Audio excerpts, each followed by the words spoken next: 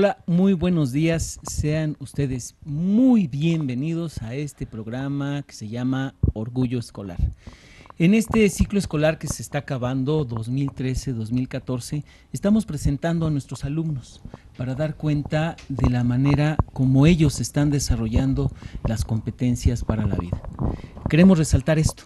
El propósito de la escuela es que los muchachos aprendan, que tengan herramientas que les ayuden a sortear los diferentes problemas que en la vida cotidiana enfrentan todos los días. Y para eso quiero presentar a dos de mis mejores amigos, los que he conocido hoy y que tengo el gusto de poder presentar. Aquí de mi lado izquierdo tengo a Alexander. Hola Alexander, por favor manda un saludo. Ponte tu micrófono y saluda. Hola. Y de este lado tengo a Fer. Hola. ¿Ellos son de qué escuela? De la Escuela Secundaria Técnica número 48, turno vespertino. Del turno vespertino. El día de hoy los desmañanaron. Vieran ustedes, hasta bostezábamos hace rato. Alex, eh, ¿en dónde queda tu escuela? En la Navidad. La Navidad. ¿Y dónde es la Navidad? Colonia es por la Ritama en la delegación Coajimalpa. La delegación Coajimalpa. Ok, a un favor, no me muevas hacia el micrófono porque me mareas. El día de hoy vamos a hablar de trastornos de la alimentación. Los chicos son de primer año y nos da mucho gusto recibir jóvenes, jóvenes tan jóvenes, porque nos va dando una idea de cómo van pasando de primero a segundo a tercero. Ya el, al día de ayer tuvimos aquí a chicos de tercer grado, que ya se ven más desenvueltos, que empiezan a caminar, que toman decisiones, y aquí tenemos a los chavos que están en primer año. Entonces vamos haciendo nuestra comparación, la, la evaluación de cómo vamos haciendo nuestro trabajo. El primer eh, asunto que vamos a tratar es sobre eh, qué es un trastorno de alimentación. Un trastorno de alimentación es como caminar chueco. ¿Por qué como caminar chueco? Porque se van desviando. A ver, pónmelo así, así, así. Porque y tranquilo. Porque se van desviando de un camino y se van para otro malo. Esa es una forma buena de plantear el asunto. ¿Tú cómo lo ves? ¿Sí sería como caminar chueco? Sí. ¿Sí? ¿Qué sería entonces caminar derecho en alguien que no tiene un trastorno? ¿Tiene su alimentación correctamente? Una alimentación correcta. ¿Cómo es una alimentación que no es correcta, Alexander? Platícamelo un poquito. Acércate al micrófono para que lo escuchemos. ¿No? No, no sé. No lo sabes.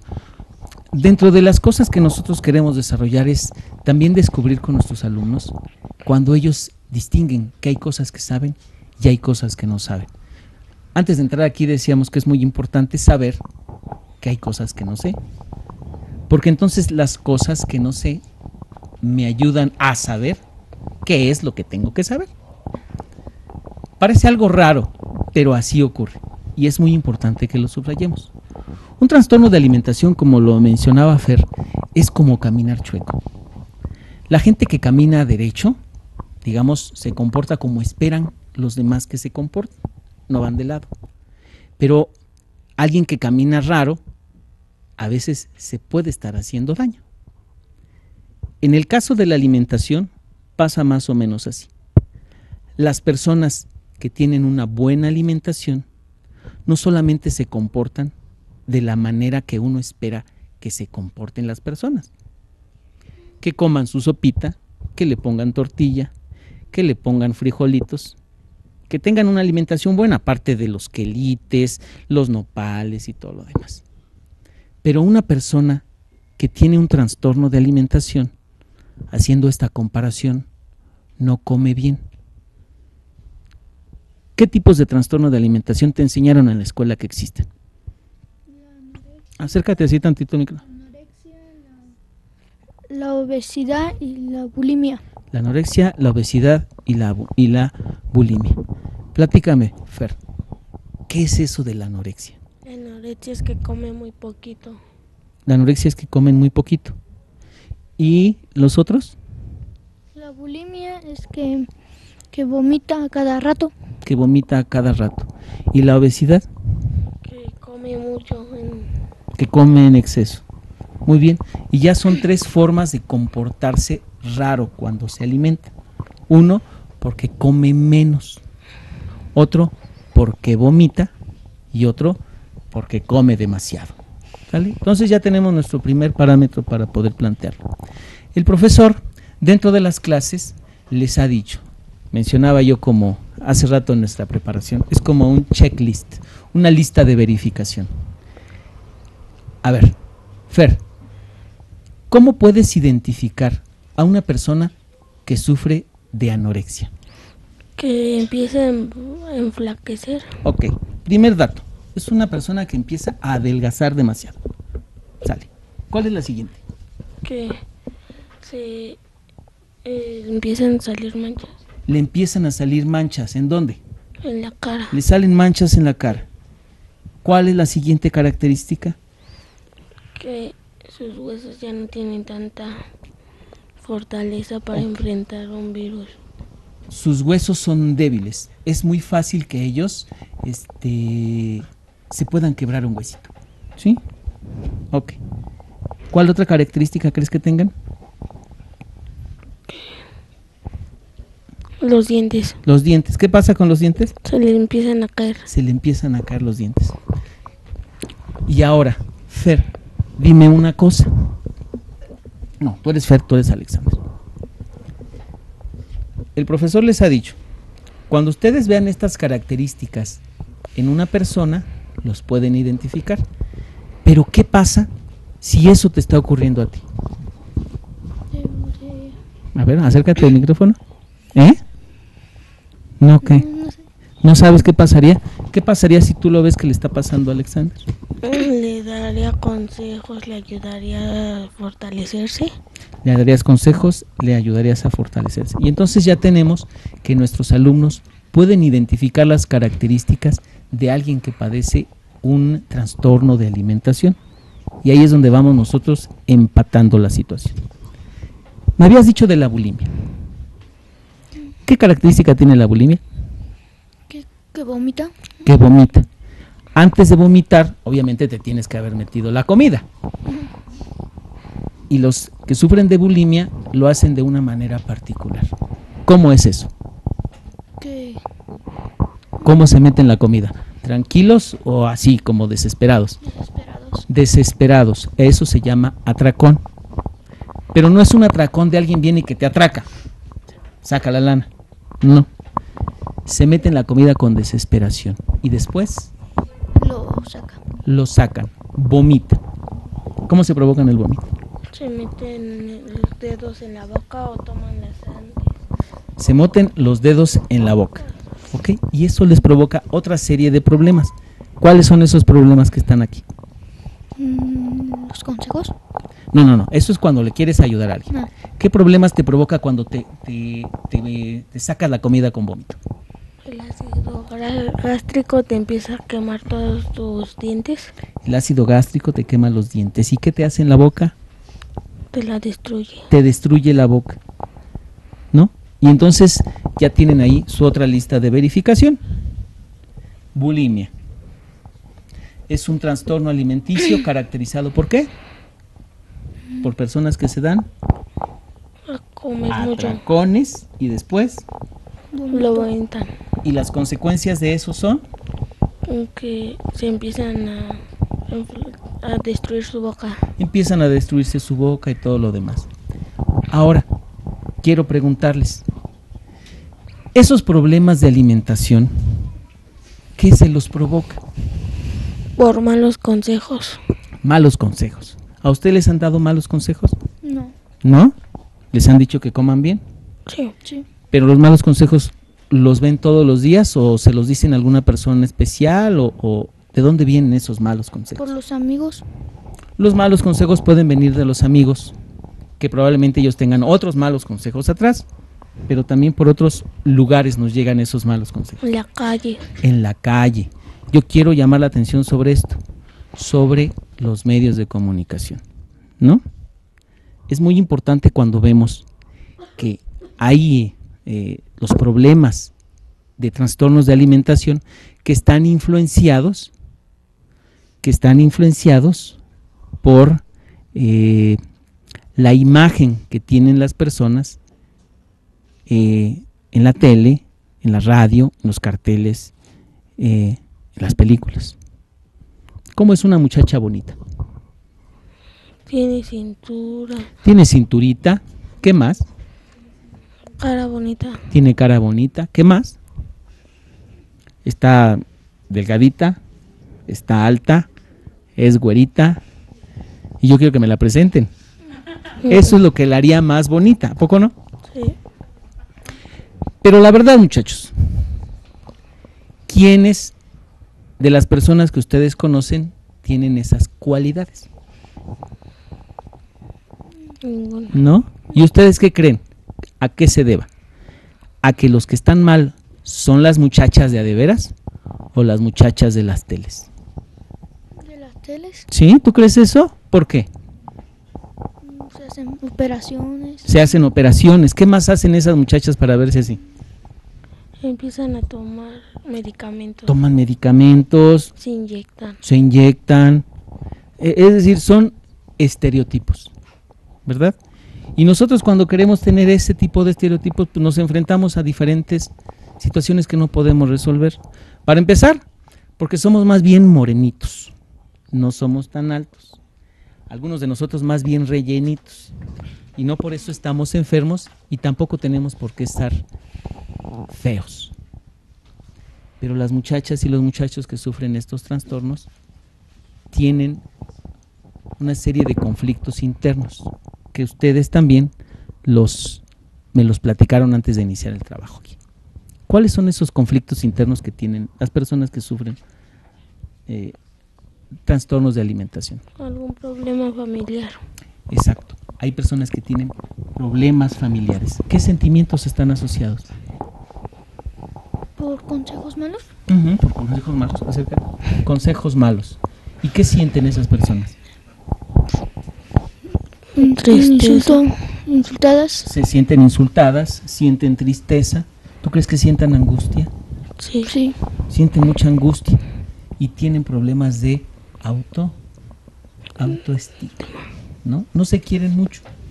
Y lo que uno tiene que hacer, pensando otra vez que a Alexander le empieza a pasar que tiene problemas de anorexia. ¿Tú qué tienes que ayudarlo a él? sí, A resolver su autoestima, entre otras cosas. ¿Verdad? Sí. Bien, aquí vamos construyendo con nuestros alumnos esas eh, experiencias que les ayudan a salir al mundo. Como están un poquito tímidos, vamos a darle paso a los que van a platicar con nosotros en el chat. Así es, mi querido César, excelente estrategia eh, para, para el trabajo con los alumnos. Es muy importante que nosotros sepamos indagar en los conocimientos previos a de, de los chicos este, antes de comenzar una actividad. Y bueno, quiero saludar a la Escuela Secundaria Técnica número 69, Geli está por ahí, Esaú en la 113, Sergio de la 22, Galicia de la 26, la técnica 56 y Martín de la 92, 92 les están enviando muchos saludos. La técnica 85 se acaba de retirar, pero les mandan saludos del Muchas gracias. tercero A. Y tenemos más saludos de la 56. Dicen que es muy importante el tema. Felicidades a los alumnos. Acaba de llegar Lucy de la técnica 101. Hola, Bienvenida, Lucy. Y bueno, pues felicitamos a nuestros chicos por esta participación. Sabemos que la tele y las cámaras nos apanican de repente, ¿verdad? Pero Sí. están haciendo un excelente trabajo. Les voy a platicar una cosa. Cuando yo eh, empecé a trabajar en esto, siempre estaba en el lugar donde Susana ahorita está sentada. Y el día que me pusieron aquí, yo no podía ni ba- ba- ba- ba- balbuceaba. Las cámaras imponen, y eso hay que mencionarlo. Este, lo que están haciendo nuestros alumnos aquí, nuestros amigos aquí, es muy importante. Están desarrollándose, están aprendiendo a expresar sus ideas. Es un poco difícil porque a veces hasta los que se supone que podemos hablar nos atoramos. Vamos a regresar con la idea de los trastornos de alimentación. Habíamos dicho que un trastorno de alimentación es como caminar chueco. Y ve- veíamos las características más importantes de dos de los trastornos de alimentación que son importantes mencionar, la anorexia y la bulimia. Ya vimos cómo podemos identificarlos. Lo siguiente es eh, averiguar de dónde vienen esas influencias. Uh, el teléfono sonó. Ya debo las cocas. el problema siguiente, no, así es mío el teléfono, ni hablar. El siguiente problema, ay, apágalo, por favor. Ya está, ya debo las cocas. El, el, eh, dos desayunos. El siguiente asunto que tenemos que resolver es, eh, ya identificados las características de los trastornos alimenticios, las influencias que vienen, cómo prevenirlo. ¿Cómo prevendrían ustedes que a ustedes mismos o a las personas que están cerca de ustedes no les pase nada de lo que están oyendo? ¿Cómo le harías? A ver. No escucharlos. No escucharlos, los malos consejos. Ok, esa es una buena opción. Pero sin embargo los malos consejos están allí. Están en la tele, están en la radio, están en el cine. Enfrentarlos. Enfrentarlos. Fer acaba de darme la palabra. Hay que enfrentarlos. Las cosas están allí. No podemos no verlas o ignorarlas. Tenemos que saber identificarlas, confrontarlas y resolverlas. ¿Sale? Ahora Alex, dime, ¿cómo resolverías el asunto de que las muchachas no son Barbies? Son muchachas. De que los jóvenes no son modelos de William Levy como todos quisiéramos ser, como yo por ejemplo. No, yo tengo otras características. ¿Por qué tendríamos que empezar? Por ad- ade- alimentarte adecuadamente. Alimentarte adecuadamente, sí. ¿Qué más? ¿No tienes idea? Bueno, les voy a dar un tip. Aceptarse como son. En principio, darse cuenta que no tenemos una estatura promedio de 1,78 o 1,85. A eso me refiero. No es una estatura promedio. Nosotros no. Nuestra estatura es otra. Vamos del 1.50 para arriba unos 10, para abajo unos hasta 20. Somos gente pequeña. Somos morenos y de tallas más bien robustas. Nuestra belleza no está por afuera. Nuestra fortaleza está en la capacidad que tengamos de enfrentar. Ah, somos bellos de forma diferente, enfatiza Susana. Sí, claro, nuestra belleza no está afuera, nada más, porque guapos sí somos, ¿no? Lo importante es que nosotros tengamos la habilidad de enfrentar esas circunstancias, ¿sale? Entonces, quiero felicitar a mis dos amigos que hoy nos visitaron, como los ven, son de primer grado, están descubriendo la vida de la secundaria y quiero que por eso, si me ayudan, darle un aplauso a ellos. Para cerrar, para cerrar, me gustaría que ellos me dijeran a quién quieren saludar de su escuela. Alex. Pues yo saludo a Ernesto, a León Ajá. y pues, a Leonardo y Toño. A Leonardo y Toño. ¿Y tú a quién saludas? Ernesto, Alexander, Moisés, Leonardo, Adolfo y Toño. Muy bien. Creo que son la misma palomilla todos, ¿verdad? Bueno, pues esto es, esto fue Orgullo Escolar, un programa que está dedicado a dar cuenta de lo que nuestras escuelas están haciendo con nuestros alumnos. No somos demasiado ambiciosos, pero sí somos concretos. Estamos desarrollando nuestros alumnos competencias para que se enfrenten a la vida de todos los días. Y eso es el valor fundamental de secundarias técnicas en el Distrito Federal. Quiero agradecer la presencia de todos ustedes y nos vemos, nos escuchamos en el siguiente programa. Ayúdenme. Hasta luego. Hasta luego.